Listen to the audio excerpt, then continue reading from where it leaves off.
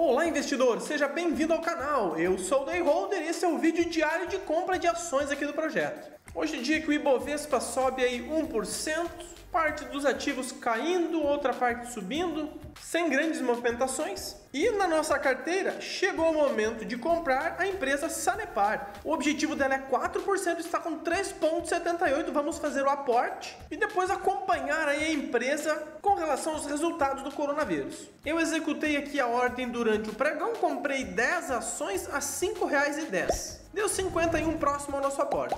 Vamos lançar aqui Sapre 4. Se você quer saber por que, que eu compro a 4, eu vou deixar um vídeo aqui na descrição. 10 ações a R$ 5,10. Carteira desempenhando aí com 2.3 negativo, o Ibov aí nos 94.6, desde o início aí descendo 5.4%, até que nossa carteira está de certa forma aí bem resiliente. E a nossa Sanepar, empresa do nível 2 de governança, tem o 100% de tag along na PN. A empresa tá com uma precificação bem interessante, tá pagando até um dividendozinho razoável. A empresa tem margens bem atraentes. Tem uma liquidez corrente adequada para o case dela, então você não pode comparar essa liquidez aqui com uma empresa que não tem renda recorrente. Então ela tem uma liquidez próximo a 1, mas é todo mês entrando grande, ela consegue fazer o giro aí, né, administrar bem esse capital de giro. Aí vamos acompanhar aqui. O acionista ganha dinheiro com essa empresa no longo prazo, né, o ativo para cima, a dívida agora em níveis administráveis.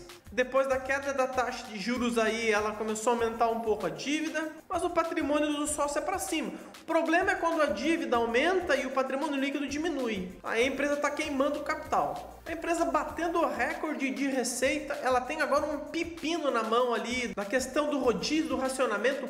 Parece que algumas cidades já estão saindo do racionamento, ela tem praticamente receita em topo histórico. A empresa está melhorando margens aí desde 2016. O operacional da empresa também em topo histórico e um lucro líquido. Né? No, em tempos de corona, ela está batendo lucro histórico. Então tem se mostrado bem resiliente. Os níveis dos reservatórios da empresa estão baixos. Aí tem a barragem de Miringuava, que é uma obra, um novo investimento da empresa, um dos motivos pelo qual ela se endividou também.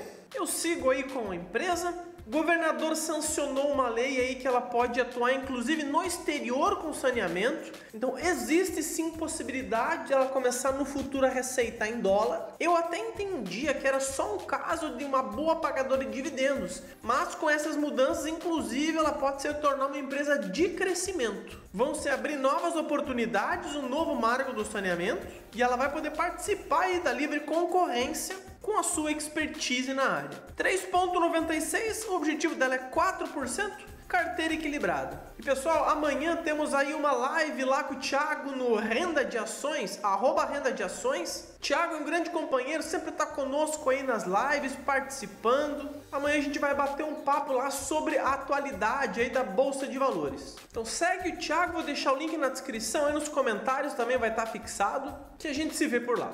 Então essa foi a compra de hoje. Se você tem ação, gosta do setor ou também não gosta, quiser fazer algumas colocações, sinta-se à vontade, sempre com muito respeito aqui nos comentários. E não se esqueça de se inscrever e dar o joinha aí no vídeo. Ações na carteira, mochila nas costas e fui embora. Um abração, pessoal!